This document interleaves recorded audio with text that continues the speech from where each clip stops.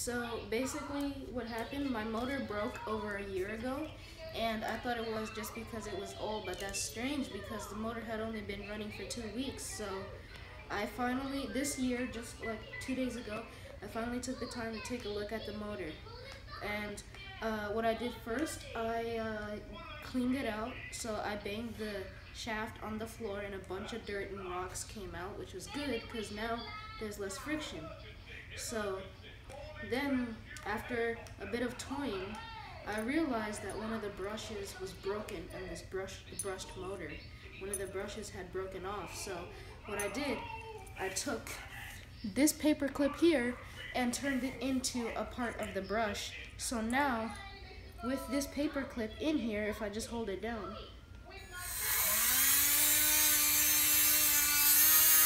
it runs. It runs with the paper clip, so